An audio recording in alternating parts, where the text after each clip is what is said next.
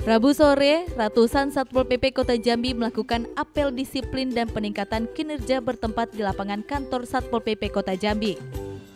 Kasatpol PP Kota Jambi Yani Ismar memimpin langsung kegiatan apel ini.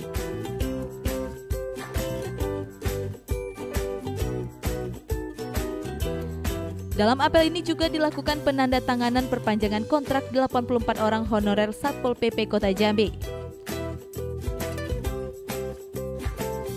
Penandatanganan ini disaksikan langsung oleh Kasat Pol PP Kota Jambi Yanismar.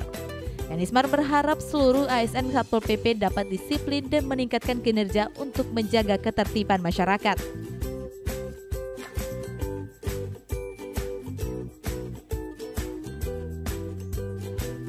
Yanismar mengatakan dari keseluruhan honorer Satpol PP Kota Jambi yang diperpanjang, masih ada sebagian yang dievaluasi kinerjanya.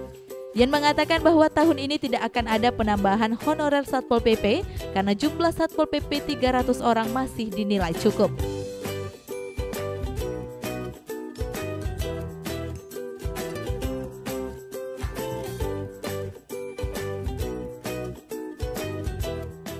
Eh, sore hari ini memang kita sengajakan apel, apel masalah samping peningkatan disiplin, kita apel besar dalam rangka eh, perjanjian kontrak ya dengan PTT uh, eh, kita uh, tanda tangani bersama dengan kontrak tapi memang ini belum semuanya kita uh, tanda tangani dikarenakan ada sebagian masih yang kita evaluasi.